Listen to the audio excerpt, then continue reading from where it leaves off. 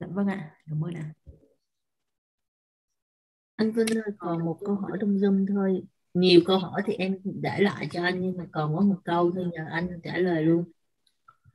Câu hỏi trong Zoom đó anh. Rồi câu, câu cuối hả? Cái câu nào? Câu cuối anh dạ. Cái câu mà bạn nói là camera của bạn bị hư á. Thầy có thể giải thích nghiên cứu cơ bản tại sao lại được ở nước ở nước ngoài lại được chấp nhận à bạn Và hỏi bạn... kỹ hơn là để em coi coi. Ở nước ngoài lại được chấp nhận trong khi ở trong nước lại chỉ tập trung vào nghiên cứu ứng dụng. sắp tới thì nghiên cứu nào sẽ được ưu tiên? good question. Um, tất nhiên là là có một cái sự hiểu lầm ở đây trong cái câu hỏi này à, trong khi trong nước lại chỉ tập trung vào nghiên cứu ứng dụng. À, mình nói như này nhé tức là có một cái giai đoạn mà rất nhiều các cái nghiên cứu ở ở các trường đại học Việt Nam là đi theo một cái mô típ một cái lối mòn rất là phổ biến. Tức là gì? Tức là à, thực tiễn và giải pháp. Đây là vấn đề thực tiễn và giải pháp không và nhìn đọc các cái luận văn nó gần gần na na na giống nhau.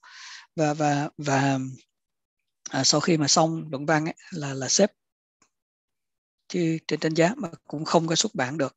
Trên trên trên các trên các tạp chí và cũng không có ứng dụng gì nhiều. Thì mình không biết là cái cái mà bạn nói nghiên cứu ứng dụng này nó có đề cập đến cái đây hay không. Đấy. thế nhưng mà ở đây thực ra nói về cái gọi là nghiên cứu nghiên cứu trong nước là chỉ tập trung nghiên cứu ứng dụng là cũng cũng không hoàn toàn đúng đâu bởi vì nó tùy thuộc vào ngành.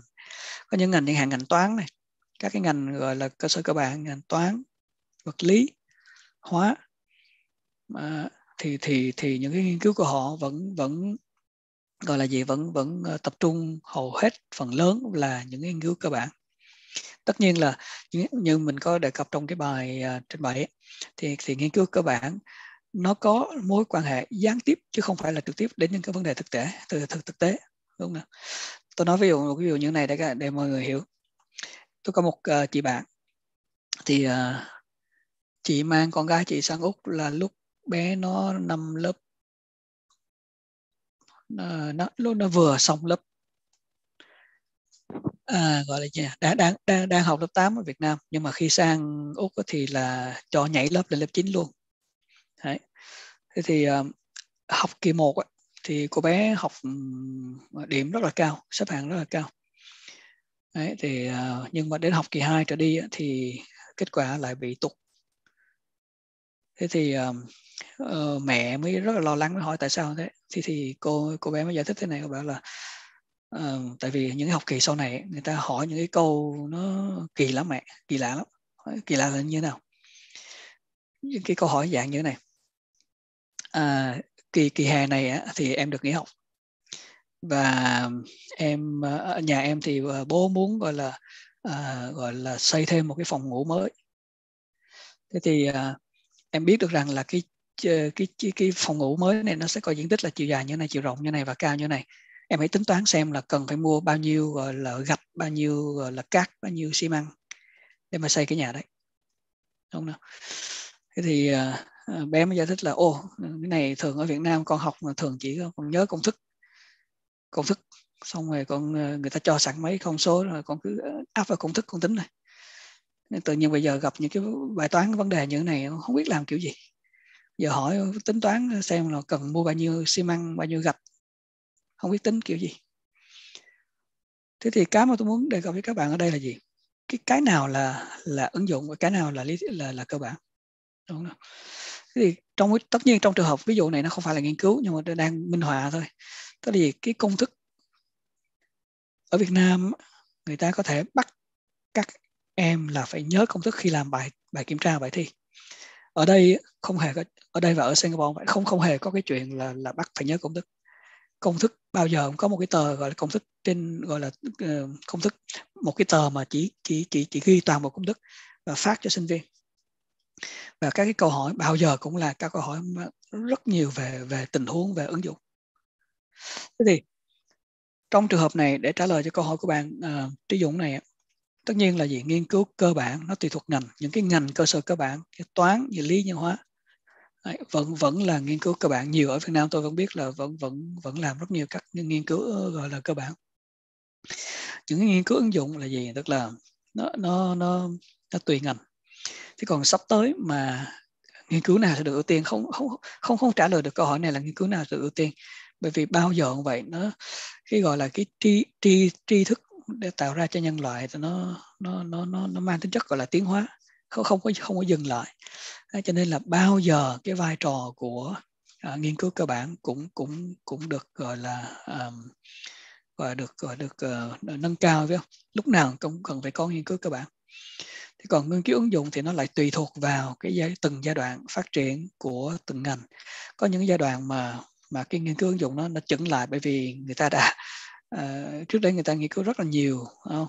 và cái cái cái cái nhu cầu nó nó nó bị chậm lại nhưng cũng sẽ có những cái giai đoạn mà cái nhu cầu về nghiên cứu ứng dụng nó tăng lên. Ví dụ ví dụ à, mà nó cái này nó áp dụng được cả trong hai trường hợp cả cơ bản và ứng dụng nhé. Ví dụ covid 19 là một cái ứng dụng rất rất một cái ví dụ rất rất là rõ để cho bạn cho cho các bạn nhìn thấy.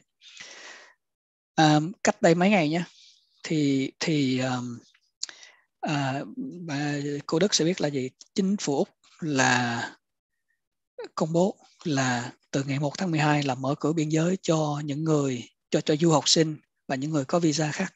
Đúng không đùng một cái bây giờ chính phủ úc bảo dừng ít nhất là dừng trong hai tuần. Lý do tại sao?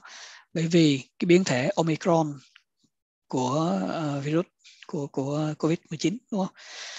Và hiện tại người ta bảo là gì? Tất rất nhiều đội nhóm khoa học trên thế giới người ta đang phải chạy đua thời gian để mà thu thập nhiều mẫu nhiều cái sample để mà hiểu rõ hơn cái những cái thuộc tính của cái cái cái cái cái cái, cái, um, cái gọi là cái biến thể virus này.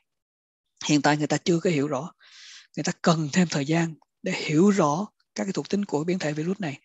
Để từ đó người ta mới xác định được xem là những cái vaccine hiện tại nó có đủ để mà gọi là khống chế những cái cái biến, biến thể omicron này hay không rồi từ dựa vào đó mà chính phủ úc người ta mới mới quyết định là là tiếp tục trì hoãn việc đóng cửa biên giới hay là mở cửa vào ngày 15 tháng 12 đúng nào thế thì trong cái ví dụ mà tôi vừa nêu ra, cái việc mà các nhà khoa học trong phòng thí nghiệm lấy nhiều mẫu và gọi là phân tích để mà hiểu rõ hơn về con virus này, được chưa?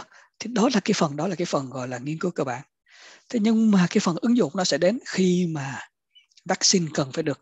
Nếu như cái nghiên cứu cái kết quả từ nghiên cứu cơ bản là à những cái vaccine hiện tại là là là không có đủ để mà bảo vệ uh, uh, con người khỏi cái biến thể virus này thì người ta cần phải đầu tư nhiều hơn cần đẩy mạnh cái việc nghiên cứu vaccine để mà ra được cái vaccine để mà để mà uh, thực, thực hiện tiêm chủng thêm đúng không nào?